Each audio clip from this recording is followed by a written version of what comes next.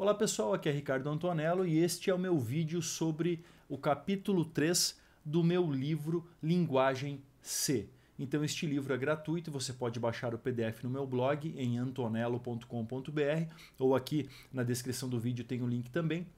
E além do PDF gratuito do livro, você também vai ter esses vídeos, você tem disponível todos esses conteúdos aqui no YouTube, onde você, além das videoaulas de cada capítulo com os conteúdos, tem também vídeos sobre resoluções de exercícios, não só na linguagem C, como também é, nos fluxogramas é, programáveis com o Flowgorithm. Então, o Flowgorithm é um software legal porque para quem está começando em programação, você pode programar os fluxogramas, então você vê visualmente o fluxograma e a execução acontecendo passo a passo na tela com as entradas, com as saídas, você digita pelo teclado as entradas, vê as saídas na tela, o teu algoritmo respondendo visualmente. Então, isso é muito legal, ok? Além de uma série de exercícios resolvidos na linguagem C que a gente trabalha aí com o Replit, que é um compilador online, então você pode ir lá fazer o fork do código, ou seja, copiar automaticamente o código para o seu repositório do Replit para programar é, é, e também vai ver o vídeo da resolução completa desses problemas, desses exercícios propostos, ok? Agora vamos direto aí para o capítulo 3, que é o tema deste nosso vídeo. Vamos lá. Então tá aqui, capítulo 3, fala sobre introdução à linguagem C. É um capítulo também rápido, tem alguns conteúdos básicos muito importantes, mas a gente ainda não vai entrar a fundo na programação. Mas vamos ver os nossos primeiros é, códigos agora neste capítulo 3. Então vamos lá. Primeiramente, um histórico da linguagem C. A linguagem C ela foi criada em 1972 é, nos laboratórios Bell é, por um cara chamado Dennis Ritchie, um pesquisador lá da, da, da, da Bell Labs tá ok? É, ela se chama C porque ela originou-se da linguagem B. E a linguagem B, ela veio, na verdade, de uma simplificação da linguagem BCPL, que é, uh, na verdade, aqui uma sigla de Basic CPL. Né? O CPL é a Combined Programming Language. Então, a, a Basic é, Combined Programming Language teve a, foi o, aí, o precursor da linguagem B, feita no, no Bell Labs, nos laboratórios Bell aqui, né? É, é, e aí o Dennis Rich aqui pegou essa linguagem B e evoluiu ela para a linguagem C. Então tem toda aqui a, a, especificação da história e das diferenças das linguagens e tudo mais, ok? Bom, dito isto, vamos continuar aqui para o que uh, realmente importa com relação à programação em C.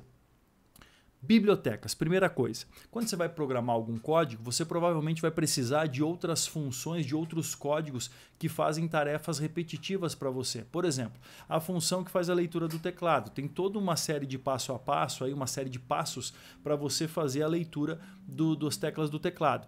Ou a função que escreve na tela para você, para você exibir uma mensagem para o usuário. Tem toda uma sequência de passos para você conversar aí com a placa de vídeo, para exibir os pixels no monitor e tudo mais. Então, para te ajudar nessa tarefa de programar, você pode utilizar bibliotecas no teu código. O que, que são essas bibliotecas? São códigos já programados que vão te ajudar a executar essas funções. Então, quando a gente for exibir uma mensagem na tela, a gente só vai chamar lá um nome de uma função, que no caso aqui a gente vai utilizar a printf, por exemplo, que é a print function, é a função de impressão, né? no caso a impressão na tela, é, que vai exibir uma mensagem para o usuário, ok? Então, essas funções, elas estão aonde? Estão dentro de bibliotecas. Essas bibliotecas, elas podem ser de dois tipos. Podem ser bibliotecas estáticas ou bibliotecas dinâmicas. Então, qual que é a diferença delas? A biblioteca dinâmica, é, inclusive nos sistemas como Windows, você já deve ter ouvido falar nos arquivos DLL, né, Dynamic Library, uh, alguma coisa, não lembro agora aqui. É, Dynamic Library, Library Biblioteca Dinâmica de link, enfim, é biblioteca dinâmica. Eu não lembro agora por que, qual que é o que, qual que significa o outro L. Mas o, o ponto é, as DLLs do Windows são as, as bibliotecas dinâmicas. Acho que é Dynamic Linked Library, se eu não me engano é isso, é bibliotecas dinâmicas ligadas. É que é justamente o linker que faz essa, essa, essa, esse trabalho quando é uma biblioteca estática. Então, a biblioteca dinâmica, ela na verdade vai ser necessária durante a execução do teu programa. Uma biblioteca dinâmica, ela quando o compilador gera o produto final, o teu programa final, o arquivo da biblioteca dinâmica precisa estar lá. No caso aí, a DLL precisa estar lá para o teu software funcionar. No caso do Linux, as bibliotecas dinâmicas do Linux são arquivos .so. Se você, por outro lado, tiver uma biblioteca estática, o que é uma biblioteca estática? É uma biblioteca que, quando o teu compilador executar e para gerar o teu código final, porque a gente já vai falar desse passo a passo aí do teu código fonte, teu compilador, link editor e aí o produto final, que é o bytecode em algumas linguagens ou o arquivo executável em outras, que é o caso da linguagem C. Mas o ponto é que nesse produto final, nesse arquivo .exe, no arquivo executável, tudo que você inclui como biblioteca estática, você não precisa incluir o arquivo da biblioteca junto na pasta lá para executar porque ele copia a biblioteca estática e já inclui dentro do teu código. Então, basicamente, a diferença é essa. Biblioteca dinâmica, você precisa ter o arquivo DLL ou, no caso do Linux.so, lá junto no, no, no teu, com, com a tua, na tua pasta do programa para executar. E se a biblioteca for estática, você simplesmente pode ignorar esse arquivo, porque na hora de processar e gerar o teu código, gerar o teu arquivo executável, o, o compilador já inclui o código da biblioteca estática nesse arquivo executável para você. Então, com um arquivo executável só, você vai executar o teu software sem problema nenhum, ok? A gente vai utilizar essa palavra-chave aí, essa diretiva para o compilador chamada include, hashtag include aí na linguagem C para incluir as bibliotecas e depois a gente vai mostrar ainda nesse capítulo, ainda nesse vídeo, um exemplo para vocês, ok? Bom, além das bibliotecas, então vamos falar agora aqui de como é que funciona o processo de compilação. Então assim, a gente não programa, apesar de ter linguagens como o Assembler que chegam próximo disso, mas a gente não programa em linguagem de máquina. As linguagens que os computadores entendem para executar o código no nível de processador, que vai, na verdade, né, trabalhar com código binário lá dentro, é, são linguagens de máquina e a gente não programa nelas, a gente programa na linguagem fonte no código fonte. Então, como é que é um código fonte? É um código que vai estar em português, ou no caso aqui em inglês, né, porque os comandos a maioria são em inglês, na linguagem C. É, então, aqui a gente vai ter um exemplo de código fonte, que é uma função mais básica que existe, ou um programa mais básico que existe, que é um programa para exibir uma mensagem na tela. É o famoso Alô Mundo ou Olá Mundo, né? Em inglês é o Hello World, né? Que é o, é o Alô Mundo aí em português. Então, o programa aqui em C ele exige essa linha intmain, abrindo chaves para abrir o bloco de código do teu programa, dessa função que é a função main, a função principal do teu programa. Tem essa linha para exibir Olá Mundo na tela com essa função chamada printf, que é print function, e tem aqui um return zero para retornar para o sistema operacional um código. Nesse caso, zero é um código de erro que, que é, é, significa que o retorno do código sempre é um, é um, código de erro. No caso, zero quer dizer que não deu erro. Né? O código diz que não deu erro. Qualquer número diferente de zero, daí significa que um, algum erro aconteceu. Então, esse é o código-fonte de um programa bem simples, certo? Quando você vai executar esse código na máquina, no caso da linguagem C, você precisa da compilação, do processo de compilação. Então, o compilador ele faz o quê? Ele pega esse código, esse código que você consegue ler, que é o código fonte, ele sempre na linguagem C fica num arquivo de extensão .c, certo? Essa extensão .c você pode inclusive abrir o arquivo num, no bloco de notas do Windows e tu vai conseguir ler essa informação lá dentro do arquivo, tá? É, e aí o compilador vai pegar esse código fonte, vai verificar se tem inclusão de bibliotecas ali dentro, nesse caso aqui não tem, e vai gerar o código executável, que é no caso do Windows o arquivo exe, exe de executável, que aí sim, se você abrir ele no bloco de notas, vai ter um monte de caractere estranho lá, você não vai conseguir entender. Tá certo? Então esse é o processo de compilação. É, nesse processo de compilação, que se tiver bibliotecas incluídas, aí sim vai ter esse processo de link edição para juntar, esse linker vai juntar as bibliotecas. Tá ok? A gente já vai ter um exemplo mais completo disso, mas só para vocês entenderem o fluxo. Código fonte, compila, vira código executável. Tá certo?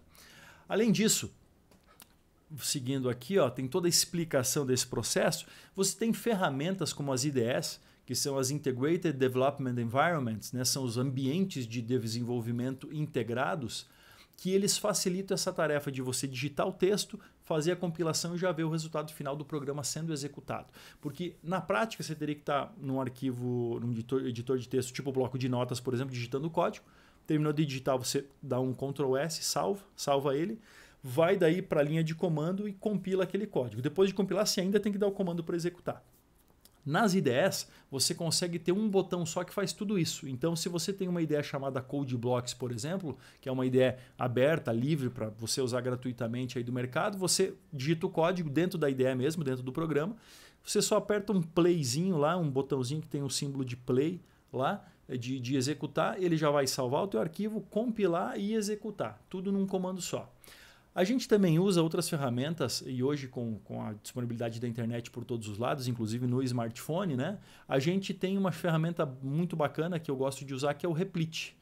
Repli.id, é, IT, que é o que? É uma ferramenta online, então você vai entrar lá, criar o teu usuário e senha, aí você fica logado no sistema e você vai digitar o teu código e aí é legal que você digita no computador o código, no browser, quando tu fecha já está salvo. Tu pode abrir e continuar editando e executando pelo smartphone. E lá também você vai encontrar, né? até vou mostrar um exemplo aqui para vocês. Ó. Eu estava aqui com a janela do Flowgorithm aberta, aqui o site do Flowgorithm aberto, onde você consegue fazer o download do Flowgorithm. Ó. Né? Aqui esse é o, é o software Flowgorithm. É, aqui você tem um exemplo do Replit, onde também ó, no Replit aqui está o código. Ó. Esse aqui já tem a inclusão de uma biblioteca aqui, que é Standard I.O., std.io. E aqui você tem um botãozinho onde você é o play aqui, ó, quando tu clica, ele já salva isso aqui, executa e te dá o resultado final aqui. Tá? Então é uma ideia também, né? nesse caso é uma ideia online que facilita muito a vida de, do programador, a tua vida aí. Tá certo? Então tu edita aqui mesmo, então ó, eu vou vir aqui no início da linha, segurar o Shift, apertar o End, copiei a linha inteira, Ctrl C, dei um Enter, Ctrl V, alterei a linha e vou colocar aqui, ó. Opa. Olá, pessoal. Né? Esse barra N é uma quebra de linha, então uma nova linha, new line, por isso N, né, de new. Então quando eu clico aqui, ó, ele imprime Hello World, dá quebra de linha, vem para baixo, imprime Olá pessoal e dá quebra de linha e vem aqui para baixo de novo, tá certo? É, se eu não tivesse barra N, por exemplo, aqui, ó, quando eu der o play, ó, ele executa e coloca tudo junto. Então tá aqui um exemplo de IDE muito bacana, gratuita, que você pode usar também sem problema. Eu recomendo o uso do Replit porque eu acho muito interessante, porque facilita o trabalho, você fica com o trabalho salvo aí. E o legal é que você pode entrar no meu uh, repositório, por exemplo, se você entrar em replit barra arroba Antonello, você vai ver todos os meus códigos aqui. Ó. Então tu pode clicar aqui e ver um código que eu executei com resposta de alguma questão ou coisa assim. Né? Aqui, é, aqui essa parte de arquivos, pessoal, como a gente trabalha nessa, nesse início com a linguagem C, só, sempre com um arquivo só que é o main.c, ó, é um arquivo main.c, né? então eu sempre fecho aqui para poder aumentar o espaço na tela, tá? mas tu pode trabalhar com softwares mais complexos no Replit, com vários arquivos e tudo mais, então aqui eu tenho uma, uma questão que é do nosso livro, inclusive, é a questão do capítulo 4, questão 41, é, onde você tem aqui a questão e aí você tem todo o código para resolver ela aqui. Né? Então é uma questão que vai calcular o número de litros de gasolina num carro de corrida, né? dependendo do comprimento da pista. Então, ó, a pista tem mil metros, tem é, cinco voltas, tu quer reabastecer uma vez e aí o consumo de combustível do carro e aí ele te dá o cálculo aqui do número mínimo de litros que você tem que ter para para poder correr nessa, nessa pista. Né? Aqui eu coloquei poucas voltas, por isso que deu pouquinho aqui o conteúdo. Então, uh, enfim, aqui tu consegue executar online no Replit, tá certo? Por isso super recomendo essa ferramenta, mas você pode, como eu já falei no arquivo de introdução ao livro, aí no, no vídeo de introdução, você pode entrar em, é, no Google e procurar por compiladores de C online, que você vai encontrar outras opções também, tá certo? Vamos voltar aqui para o nosso livro texto. Então, procure uma ideia para trabalhar, eu recomendo o Replit, que aí você pode, inclusive, indo para o trabalho, para a escola, no próprio celular, abrir o teu código e rodar o código pelo smartphone, tá? Funciona bem. Bom, outro conceito importante, depuração de código. O que é depurar o código? Depurar o código ou fazer o debug, o debugging, é, Bug é um termo que em inglês significa inseto. Quando os computadores eram antigos, isso está no livro também lá no início, na introdução, é, quando os computadores eram bem antigos, os primeiros computadores, eles eram gigantescos, esquentavam muito, né? ocupavam salas e salas inteiras. E às vezes entrava um inseto lá no meio uh, e aí dava um curto-circuito nas válvulas e aí queimava o computador e obviamente dava erro no software. Então, quando dava algum erro, algum problema, o pessoal já chamava de bug. Né? Então, hoje, no código, apesar disso não acontecer nos computadores modernos, obviamente, mas quando tem algum erro no código, o termo que se usa para um erro no código é, é, é bug. Ó, deu um, tem um bug no, no, no código, tá? É, tem um, um, problema aí para a gente resolver. É, e o debug é justamente você tentar achar, resolver, tirar esses bugs, tirar esses erros, tirar esses problemas. Então, o debug é um procedimento que é o quê? É você executar o teu software linha a linha passo a passo, de maneira bem devagar. Porque aí você vai vendo linha a linha o que está acontecendo e sabe achar o erro. Tu vê onde que o teu software, o teu algoritmo ali desviou do teu caminho, do caminho que você queria, para gerar aquela solução errada no final. E aí você consegue achar a linha para resolver o problema. Então esse é o conceito de debugar um código, tá certo? Tem várias ferramentas que têm esse, isso disponível, né? Por exemplo, o, é, Uh, Code Blocks tem isso disponível para você na linguagem C, mas, por exemplo, o Replit ele não tem na linguagem C. Na linguagem Python já, já, já consegue fazer debug lá no Replit. Para a linguagem C ainda não tem nesse momento que eu estou gravando o vídeo. Então você pode instalar no teu computador o, o Code Blocks para poder debugar. É, veja, o debug vai ser importante e necessário em programas mais complexos, lá para o capítulo 6 em diante. Tá? Até o capítulo 6 os programas são bastante simples, então eu vejo que você não vai ter muita necessidade de debugar o código, tá bom? Agora, vamos ver aqui o nosso primeiro programa em C. Então tem toda a explicação aqui do primeiro programa em C, que é uh, esse aqui. Esse include nada mais é do que a inclusão de uma biblioteca. Então, essa diretiva, a gente chama diretiva para o compilador, e isso que tem esse hashtag no início. Tem que sempre vir no início do código aqui, tá? Esse include. Você não pode fazer isso aqui, por exemplo, colocar no final aqui tá certo? Então o include ele vai incluir uma biblioteca estática no teu código. A gente explicou isso lá no início do vídeo. Essa biblioteca estática tem que vir entre abre uh, e fecha maior e menor aqui esses caracteres. E aí o nome do arquivo está aqui que é o stdio.h. std vem de standard IO. Então é, é I/O vem de in e out, né? entrada e saída, standard padrão. Então é o arquivo de entrada e saída padrão que tem funções como, por exemplo, essa aqui que é o printf, a print function. Então aqui você está incluindo a biblioteca, Nessa linha de baixo, int main, a gente está criando a nossa função main, que é a função principal. O código em C, ele sempre exige que você tenha uma função main. Então essa função a gente está abrindo ela aqui, ou o bloco de código da função abre aqui e fecha aqui embaixo.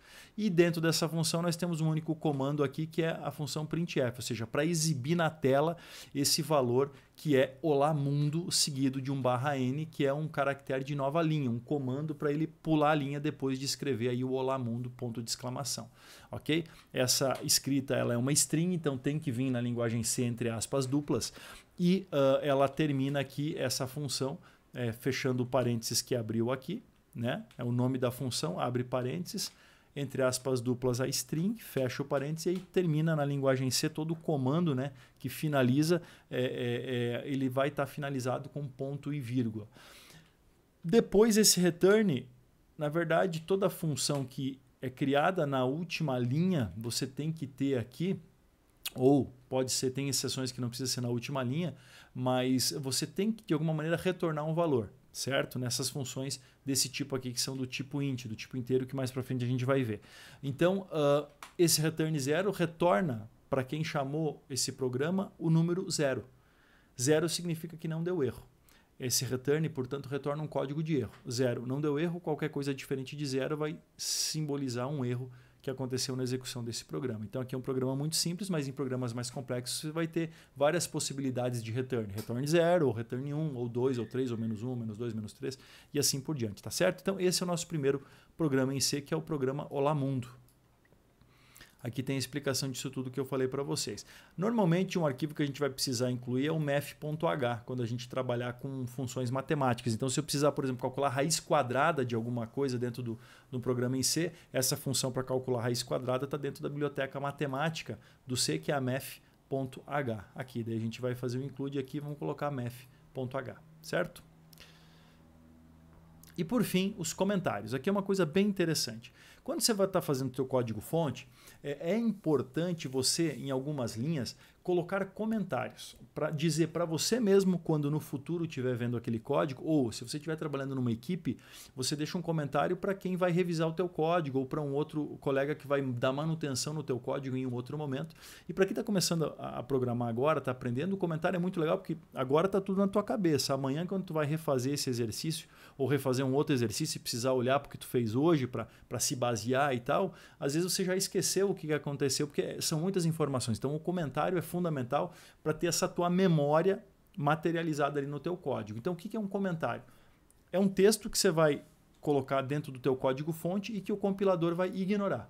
Ele simplesmente ignora. Aqui é um comentário de uma linha. Ou seja, quando você em qualquer lugar coloca barra barra, o compilador automaticamente ignora tudo que vem depois do barra barra. Ignora o barra barra e tudo que vem depois até o final da linha. Se você quiser um comentário de várias linhas, aí você tem que abrir ele com barra asterisco e fechar ele com asterisco barra. Aí tudo que tiver entre o abre comentário e o fecha comentário, esses comandos que é barra asterisco e asterisco barra, tudo que tiver ali no meio vai ser ignorado, vai ser considerado comentário pelo software. Então, esse software aqui, esse código fonte vai executar exatamente igual a esse aqui. Tá? A única coisa que tem a mais é que tem uma biblioteca a mais, né? Mas uh, os comandos, ó, ele vai executar igual e o que é comentário que está em cinza aqui nesse caso vai ser completamente ignorado, tá bom? Então tem o comentário de uma linha e tem o comentário de duas linhas aí, ou duas ou mais linhas, pode ser quantas linhas quiser. Você pode inclusive abrir se quiser, né? Daí é, não faz muito sentido, mas você poderia fazer isso aqui, colocar comentário, abrir ele aqui e aí fechar aqui. Mas se for numa linha só, é melhor fazer o barra barra e não precisa fechar lá no final. Mas se tu quiser que ele tenha mais de uma linha, aí tu tem que realmente fazer o barra asterisco e asterisco barra, certo? E aí, termina o capítulo e nós temos aqui uma série de uh, exercícios propostos para esse capítulo. Eu recomendo que vocês façam os exercícios propostos, ok? Tem até questões aí de múltipla escolha para você assinalar. E se tiver alguma dúvida sobre esses exercícios, coloca aqui nos comentários do vídeo, ok? Vamos encerrando essa videoaula por aqui. Se gostou do conteúdo, compartilhe aí com os amigos que estão aprendendo programação. E não esquece de dar o joinha aí no vídeo.